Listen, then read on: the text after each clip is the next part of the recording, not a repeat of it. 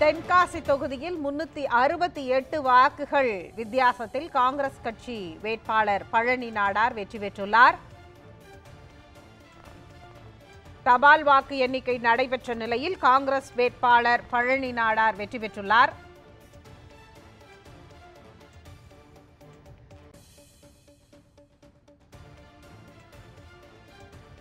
மறு வாக்கு எண்ணிக்கையில் காங்கிரஸ் வேட்பாளர் பழனி நாடார் வெற்றி பெற்றுள்ளார். முன்னூற்று அறுபத்தி எட்டு வாக்குகள் வித்தியாசத்தில் காங்கிரஸ் கட்சியின் வேட்பாளர் பழனி நாடார் வெற்றி பெற்றுள்ளார்.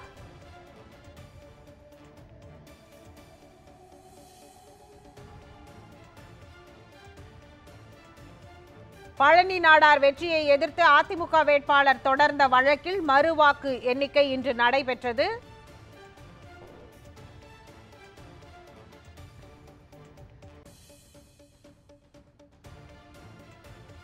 மறுவாக்கு எண்ணிக்கையில் காங்கிரஸ் வேட்பாளர் பழனி நாடார் வெற்றி பெற்றிருக்கிறார்.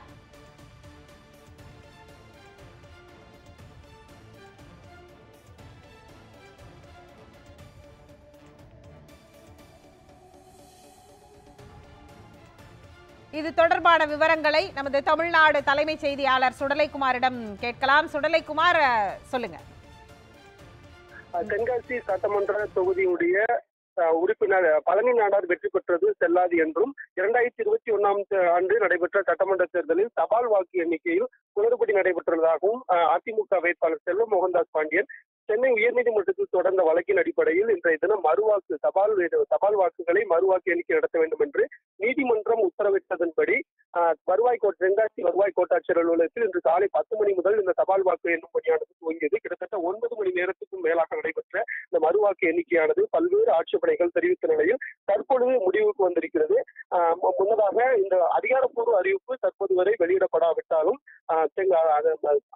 கட்சியைச் சேர்ந்த பிரமுகர்களும் அந்த திமுக மற்றும் கட்சி பிரமுகர்கள் கூட்டணி கட்சியைச் சேர்ந்த அனைவரும் பட்டாசு வெடித்து சில நிமிடங்களுக்கு கொண்டாடி ஆட பட்டாசு வெடித்து கொண்டாடி ஆரவாரத்துடன் தங்களது மகிழ்ச்சியை வெளிப்படுத்தியிருந்தனர். அது மட்டுமின்றி தற்கொலை தற்பொழுது சம்பவ இடத்திற்கு மாவட்ட ஆட்சித்தலைவர் துரை ரவிச்சந்திரன் அவர்களும் வருகை தந்திருக்கிறார்கள். தற்பொழுது நமக்கு கிடைத்திருக்கிற தகவல் படி முன்னூற்றி அறுபத்தி எட்டு வாக்குகள் வித்தியாசத்தில் காங்கிரஸ் கட்சி வேட்பாளர் பழனி நாடார் வெற்றி பெற்றுள்ளதாக தகவல் வெளியாக இருக்கிறது.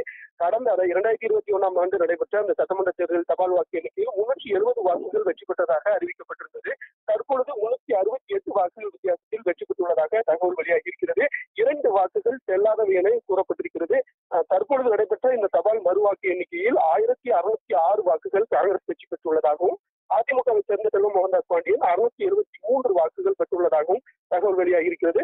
தற்போதைய நிலப்படி காங்கிரஸ் கட்சி வேட்பாளர் பழனிநாடா தற்போதைய சட்டமன்ற உறுப்பினர் பழனிநாடா வெற்றி வெற்றி பெற்றுள்ளதாகவும் முன்னூற்றி அறுபத்தி எட்டு வாக்குகள் வித்தியாசத்தில் இந்த வெற்றி உறுதி செய்யப்பட்டுள்ளதாகவும் தகவல் வெளியாகிருக்கிறது இன்னும் சிறிது நேரத்தில் இதற்கான அதிகார பூர்வ அறிவிப்பை மாவட்ட ஆட்சித்தலைவர் துரை ரவிச்சந்திரன் அவர்கள் வெளியிடுவார் என்று எதிர்பார்க்கப்படுகிறது.